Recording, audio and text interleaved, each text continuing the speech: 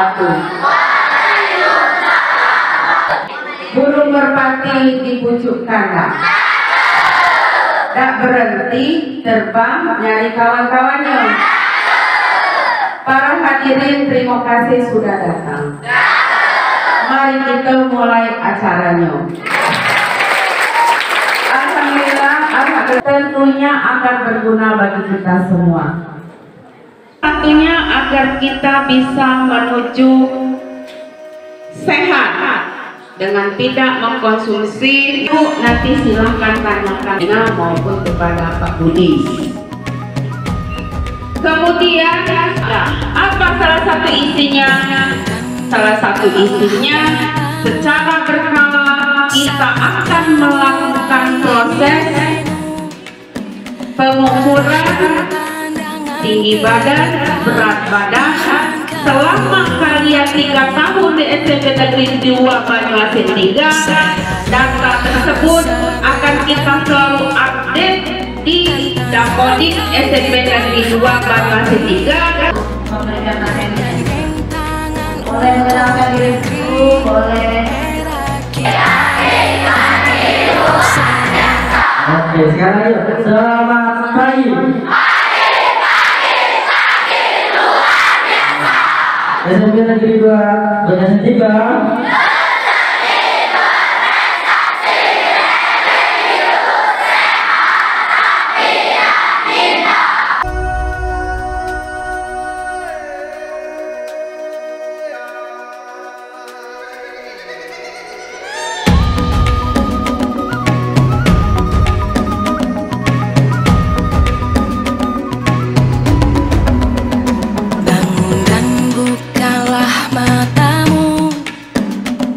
a.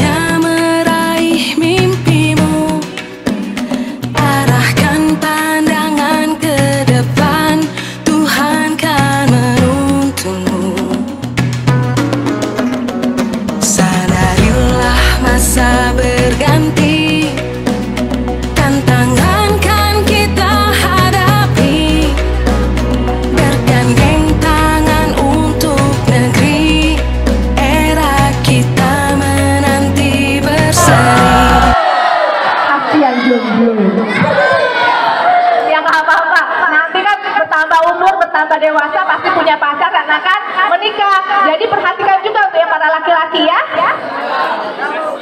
Nah, jadi salah satu ciri bangsa maju adalah yang memiliki kesehatan, kecerdasan, dan produktivitas kerja. Terus anemia gizi besi. Nah, anemia gizi besi inilah yang suka terjadi pada anak remaja putri. Terus kurang vitamin A. Kalau kurang ini biasanya pemberian vitamin A kami berikan pada anak usia eh, 6 sampai 5 tahun, 6 bulan sampai 5 5 tahun. Nah, untuk gizi lebih itu akan mengakibatkan penyakit degeneratif adik-adik. Si- eh, yang kalau saya berat badannya lebih dari normal, itu akan menyebabkan penyakit degeneratif. Contohnya penyakit diabetes atau kencing kencing manis, terus hipertensi, terus penyakit jantung dan penyakit lain-lainnya ya. Nah, terus supaya tidak tidak kita tidak mengalami gangguan penyakit gizi tadi, kita harus makan makanan bergizi seimbang. Menunya itu ada makanan pokok, lauk, sayur mayur, buah-buahan dan cukup minum air putih. Air putih berapa gelas satu hari? Iya, 8 gelas. Tapi eh, sekarang ada ilmu yang lebih, ada ilmu terbaru. Ba- kita boleh minum itu dari berat badan kita misalnya 50 kilo dikali dengan 30 mili. Berarti kita butuh 1500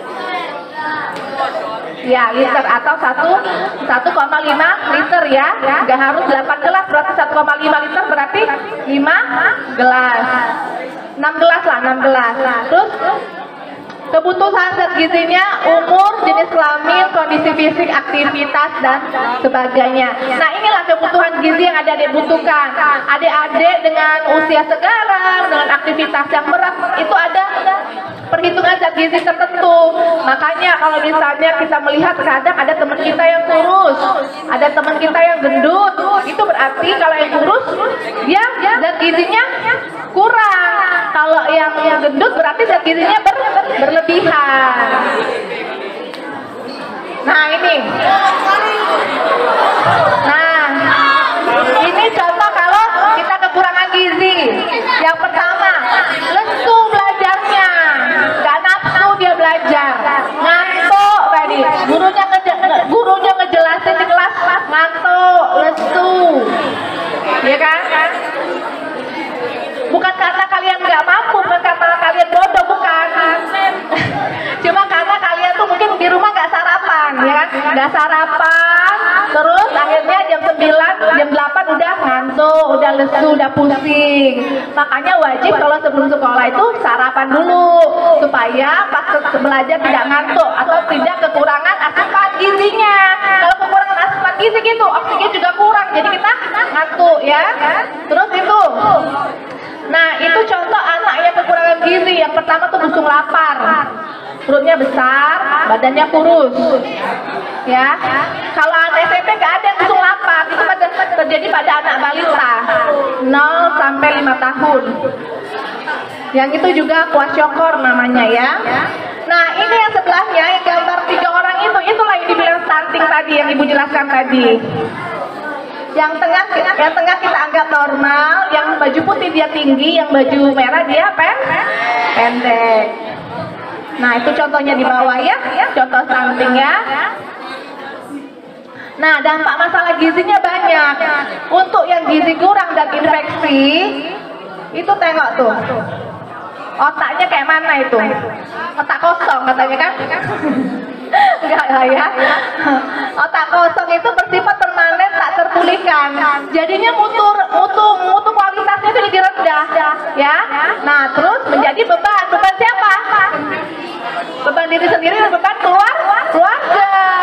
Gitu.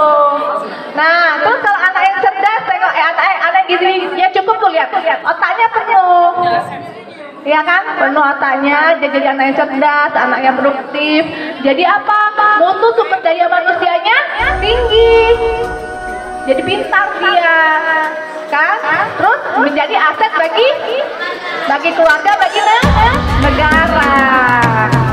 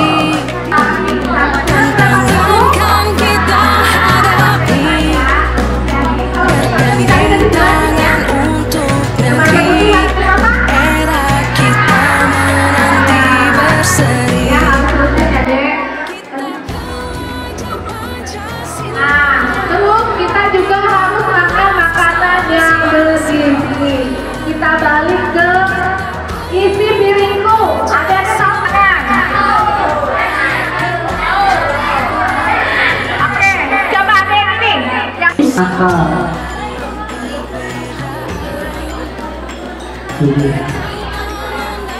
untuk lanjut bahan makan kita harus kita juga juga misal nih orang tua kita pendek ya terus anaknya tinggi bisa jadi karena apa karena pola makan dia tepat ya dan yang 20 persen ini bisa kita dengan sebanyak 80 persen 20 persen ini memang dari tadi dari pola makan sama aktivitas kita ya jadi kalau kalau misal nih ada ada pertanyaannya apakah aktivitas kita ya Bagaimana cara minum tablet carbonara? Tadi sudah dijelasin sama kita. Ya, yang bisa kata aja. Yang kata kalau dulu. Nah,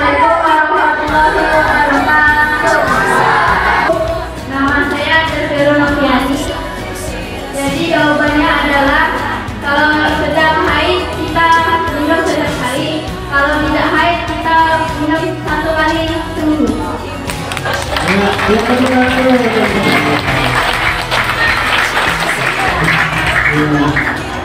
dapat hadiah dan ini dapat Nah, dapat dua kali. Ini dari dari sana. Nah, Nanti di luar